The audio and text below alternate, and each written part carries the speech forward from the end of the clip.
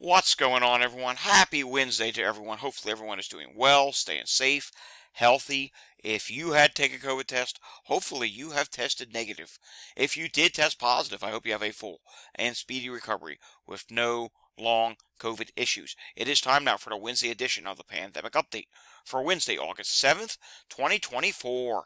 If you're new to my channel, this is where we do the daily pandemic update on all things COVID and any other virus that could be a health threat to you. Let's face it, there are a lot of different viruses out there. Each of these viruses come with a risk. COVID can go on to long COVID, hospitalization. It can even go on to death. That's right. People are still dying from COVID. We're in a big COVID wave all around the world. Some people want to call it a surge. Some people call it uptick. Spike, as you're about to see in the first article that we'll talk about today. Whatever you want to call it, COVID. It's still out there. You can still get infected and you can still be impacted by it. Long COVID is still a thing. Like I said, people are still dying. Plus, there are other viruses out there. We talk about them. We talk about new treatments. We talk about new studies that come out. All types of different things to help keep you healthy and safe and in the know with what's going on. Want to be informed? Subscribe down below. Want to help keep other people informed? Well, if you hit that like button down below, it recognizes in the YouTube algorithm that, hey, people like this content. And of course, if you share this, well, more people will see it. And then if you hit that notification bell, that helps more people see it as well, because the more people that are notified and watching my videos, the more YouTube's going to say, hmm, your followers seem to be enjoying this content, it helped gain it, it traction in the YouTube algorithm. That's how it works. And of course, leave your comments down below if you have anything to say. All right, we do have a few news stories today. Then we're going to take a look at a bunch of data, and I do have some notes today as well, which we will take at in just a look at in just a little bit. Starting off with the Romania reports a spike in COVID-19 cases. The National Institute of Public Health INSP announced that 5,370 COVID 19 cases were recorded between July 29th and August 4th, an increase of 55.8% compared to the previous week. And it does say that they had 13 deaths at this time. So, yes, this is not good to see that Romania is now increasing. All right, something else that's not good. CDC issues new guidelines for RSV vaccines, citing side effect concerns, and not something we want to hear. The CDC has clarified and narrowed its recommendations for which older adults should get an RSV vaccine. The Centers for Disease Control and Prevention has narrowed its recommendations, and basically what they're saying is it now states that only adults 75 and older, or those ages 60 to 74, who are at high risk should get the shot. That is partly because the vaccine may slightly increase the risk of a rare side effect that can sometimes lead to paralysis or death. Not a good thing to hear. Of course, this will make it into today's thread on my website, datareport.info. All the news stories today will, and you can read the full thing yourself. If we uh, did the full readings on the video, well, these videos would be very, very long. All right. More than 500 people fell ill with norovirus on a Canary Islands cruise. Yes, remember there was that cruise, I believe it was back in May, uh, yes, May of 2024, and they're saying the full total number of people that got sick with norovirus on that cruise was 500. And it says here at the time, P&O Cruises said that 0.64% of passengers were symptomatic on Wednesday, uh, May 22nd, but failed to confirm how many suffered at the virus's peak. Well, we now know. It was 500. That's a really high number. That's not a good number. In Colorado, Theater Aspen canceled three come from away shows due to cast COVID cases. Yes, I mean, COVID outbreaks within theater performances. It still happens. I've posted a few of them lately. Alrighty, today I have a treat for you. I was almost going to do a full video on this, but I started thinking, nah, let's just incorporate it into today's pandemic update. And I tweeted on X a glimpse into my YouTube analytics in terms of views. You know, you're probably thinking, well, why would I do that? Believe it or not, there's a really interesting thing that happens with my channel during COVID waves. I can actually see in my analytics when we're entering a wave, when a wave is ending, well, sometimes when a wave is ending, but you get the idea here. The channel started back in 2022. That was also in the middle of the summer of 2022 wave, which that year in some states had many different smaller waves, and each one went up like a staircase. A lot of different things happened there. And at the time, there was also, I believe, was that when Mpox was happening? I forget. It's been a long uh, journey. But anywho, uh, at the time, I tried YouTube Shorts just to help grow the channel to get things rolling. YouTube was still trying to find me in the algorithm. So you can't really use that summer's wave as a guide. But then fast forward, we had a little pause in the channel during the, the winter holidays of 2022. But then come over to summer of 2023. Take a look at this. Summer of 2023 COVID wave. Aha! Look what happened. Boom. People were starting to search I assume they were trying to search on YouTube, and then YouTube was suggesting videos with my pandemic updates, and obviously people were starting to know people that were testing positive, so they said, oh, a video about COVID. Hmm, maybe I need to find out what's going on. So-and-so is sick right now. Well, Look what happened here. You can clearly tell when there was that wave. And then you can also tell when that wave ended as we started to head towards fall. You can see it peaked. Then you can see the winter holidays. Look what happened. We experienced significant growth here on the channel, as, as did the time during that summer. I experienced significant growth during the winter holidays starting around Thanksgiving. You can see right around Thanksgiving, views started going up. Then I had some big uh, view spikes on videos during Christmas time. And really through the first part of the year, then we had that little increase in February. Remember where on our way down, uh, some places tried to rise again before going back down. Well, that was noticeable as well. Then things really started dropping off into the spring because cases were dropping at that time. So my growth, while it was still going up for subscribers, the views dropped a little bit. Then look what happened late spring as we started to enter summer. Kaboom. Yes, you can see right here. Here's late spring into summer. You can see things really start to take off because people were knowing people who were testing positive. They were starting to say, you know, there's that channel, Data Report. You know, he does these updates every day on the pandemic. Maybe you should, you should watch that to find out what's going on. And look what's been happening. It's noticeable. This summer's wave is big. Yesterday we reported from one of the sources we use on Twitter that we're back to 1 million cases a day. Well, look at this. I mean, for granted, each time a wave peaks, we're higher than the last because, you know, the channel's growing. But you can see right now, clearly, it is continuing, and you can see it was starting to slow off a little bit. Then right around the time, and very interesting, right around the time KP 3.1.1 came, we had a huge a view spike once again, and here we are, things are starting to grow again. So really interesting that you notice my highest view periods from, we'll say about uh, the end, from when I started constantly going day after day after day back in uh, early 2023 have come during these waves. I experience a new level of growth during each wave. So we'll have to see what happens when this wave finally peaks. Will my views actually drop a little bit? I don't know. We'll just have to see. It's really interesting to follow. I'll keep you posted on that one. All right, UK will update tomorrow. Taking a look at the national allergy map. You can see 42% of the country is in the medium status at this time. And I do believe that, yep, that's correct. And you can see there are some scattered orange on the East Coast. The biggest area of orange, which is medium status, is in the central portions of the United States. Taking a look at air qualities for today and we do see here not as bad. A few places along Tennessee, West Virginia, Western Pennsylvania, Alabama, Mississippi, Louisiana, a few places there. But then you get out to the West Coast and wildfires are still a thing. I'm going to be tweeting about that little later on, if I get a chance, about the wildfires over on my other X account. I'll show that to you in just a moment. Heat-related illnesses, they're still a thing. They've come down a little bit and that may continue. It's actually slightly below average temperatures for the next few days in the Northeast, so we'll have to see what happens with that. Yeah, heat-related illnesses could drop slightly, and here's the next thing I want to show you. Climate Data Report, that's my other X account. It's slowly growing. Maybe we'll hit 600 by this weekend. Wouldn't that be nice? I'm going to do some tweets there later on. Climate Data Report, all things weather and climate. Philadelphia, for EMS incidents on Tuesday. Yeah, high number. 888 EMS incidents. I'm going to tell you this much.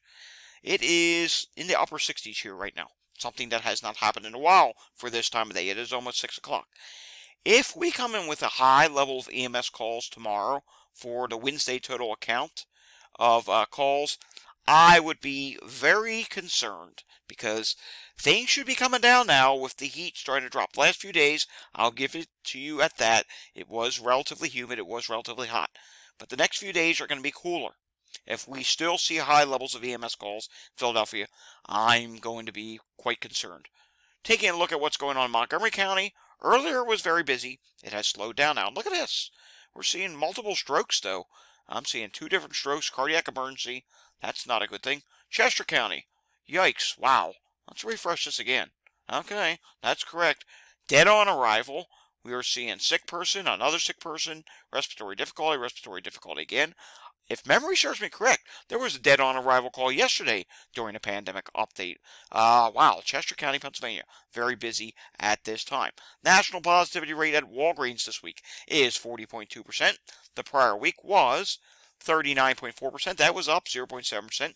10,596 tests were reported. And the prior week, 8,132 tests were uh, taken at Walgreens. All right, moving on here. In Canada, the COVID viral activity level is moderate. Flu A, flu B, and RSV is low at this time. Taking a look at the latest COVID variant, and that is the KP3.1 0.1 variant that is in the lead at 27.8%. Then KP.3 has dropped to 20.1%. LB.1 is at 16%. KP2.3 is at 14.2%. All right, I do have some wastewater sites that I want to show you today. One being west of the Boston area in Massachusetts, Worcester, Massachusetts, is take a look at this. Now there's a little wonky movement at the end, but yeah, it's it's still going up, even corrected it's starting to go up there again, and this is 250,000 population. There's another place in New England that's starting to go up a little bit more again, and I do believe that was Montpelier. Yeah, Montpelier. It's a little wonky movement at the end starting to go up. Don't think that was the one. I'm trying to remember. Here it is. I think it is in Essex Junction. Vermont. We'll see here. Yep, that's starting to go up a little bit again. And let's check South Burlington while we're at it as well. Take a look at this. And South Burlington is actually showing signs that maybe they're going to drop soon. But if you take a look here real closely, they don't update as frequently. So that is problematic. Now let's go over to Michigan.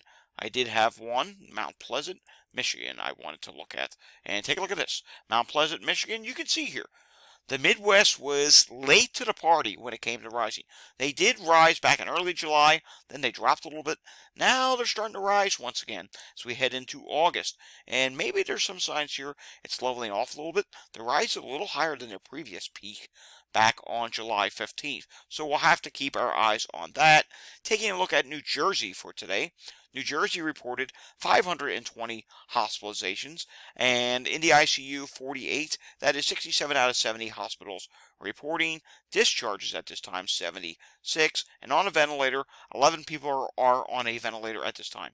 All right, New York State reported 1,332 cases. They are continuing to drop. It seems to be a rather quick drop with the cases all of a sudden. So we'll have to see what happens there. But remember, this is statewide, and I think it's still safe to say that some other parts of upstate or western New York are maybe only in the middle of their wave because we've been watching hospitalizations go up there. But today we can't watch much of anything. And I'm going to refresh this again. No. Hospitalizations did not update today in New York State. I don't know what's going on. Friday they missed a day. Today they missed a day. I mean, eventually they'll make up for it and it will show up on the chart, but for some reason, it's just not always showing up. All right, today I do have some notepad notes for you, and that is Wednesday, August 7th, Pandemic Update Notes. And this comes from a great uh, commenter that's been posting down below. You know who you are. It's CS. I think the name is Charles. Anywho, thank you so much for adding this. I wanted to share this with you all. Maryland reported this week 2,912 new cases and 19 deaths. Maine added 631 new cases this week, which back in the early days of the pandemic, during a wave, well, that would be sometimes a daily number, but here we are in 2024 where not everyone gets tested, and of course, the at home test rules the roost. PCR testing is not as much of a thing. That is quite a big number for Maine. Michigan this week, I keep getting asked about Michigan. Here you go 3,346 new cases and 20 new deaths were added in Michigan. Virginia added 2,500 new cases and 53 new deaths this week. Uh, that's, that's quite a few deaths, if you ask me, for Virginia. And now let's go back to the web browser here and take a look at Virginia a little bit more closely. And we can see here emergency department visits. Now, I want to explain something real quickly. Remember, a few weeks ago, it looked like as if they had peaked. And I think we're seeing a lot of states do this, where the data you're seeing that's coming out for one week, a couple weeks later, it gets, oh no, wait a second, the numbers were actually much higher. I mean, remember we were seeing a drop in Virginia's data here, that's been erased and things are continuing up like a staircase. And Virginia right now has had 4,234 emergency department visits and urgent care visits for people diagnosed with COVID. COVID like illness. Check this out 8,673 visits as of August 3rd. So you can see here that peak they corrected that, and the numbers continue to rise. Is there anywhere else that we want to take a look at? Uh, how about Tennessee? Let's see. Let's refresh this. Did Tennessee update today? Uh, I do believe this. Yes, this is Tennessee's COVID dashboard. And it looks like in Tennessee, as of August 3rd, this, again, this could be incomplete data. A lot of times when it's incomplete data, and it does say here, illness that began during this time may not yet be reported, but it would appear as if Tennessee is possibly heading towards a peak for this COVID wave, which would be some really good news at this time. And let's see, what else do we want to take a look at? Washington. I don't think Washington has updated yet, but somewhere that did update. Here we go. Colorado did update for this week, and I had to actually refresh this again because sometimes their data comes in bits and pieces. They'll update this chart, and then several hours later, the rest of the data magically appears. So we just refreshed this, and here we go. Hospitalizations down by three. That's good, but as we know, cases like hospitalizations, or hospitalizations like cases, I should say. But the reason why I just said what I said is because, well, hello, cases are starting to rise again. And we can see emergency department visits diagnosed with COVID is at 1.9%. That's up by 0.1. The positivity rate did go up again, the 4.3%. Wow. And take a look at this 23.4%. So the reason why I said uh, in this case, cases are lagging hospitalization is because, well, cases have started rising again. Though cases may have at one point leveled off a little bit, which allowed for a slight drop, it's now going to allow for a potential rise in hospitalizations again. Look at cases up 195 to 2,483. So we would expect next week they may see another rise for hospitalizations should this case increase continue, which hopefully pretty soon we're going to see a peak there. I mean, there are one of the western states, and as we know, the west should be peaking first, as is the south. The south is peaking. I've taken taken a look at some Florida wastewater sites off camera earlier today. Disney, guess what? Down in Orlando, you are starting to drop. In fact, real quickly, let's just pull that up. I like to be spontaneous, and let's just give you a little extra piece of data today. Here's Orlando, here's South Orange County, and check this out, some really good news. It's rapidly dropping. Now, on the most recent update, it's a little wonky movement upward. We'll have to keep our eyes on that, but for the most part, I think they're going to continue to drop. That could be just a little notch along the way. Maybe a little KP 3.1.1 notch, but for the most part, you are peaking now in Florida. Alrighty, folks, that does it for the Wednesday edition of the Pandemic Update. We'll have another Pandemic Update again tomorrow. If you enjoyed this update, give it a thumbs up. Maybe you like that we gave you a little dive into what my views on this channel tell us when a wave could become. I'm telling you, that is really interesting. I've been wanting to do that for a while, and it's becoming more and more clear. When we're in a COVID wave, and more people are trying to find out just what's going on, more people are watching the pandemic update. And of course, the channel has been growing overall. And a lot of that is thanks to you guys spreading the word of mouth to other people about these updates. I thank you for doing that, and I hope you continue doing that. Subscribe, thumbs up, notification bell, share this with anyone you know, and leave your comments down below. I'll see you all again tomorrow. Until I see you again tomorrow. Stay safe, everyone. Have a fantastic Wednesday evening, and thanks for watching.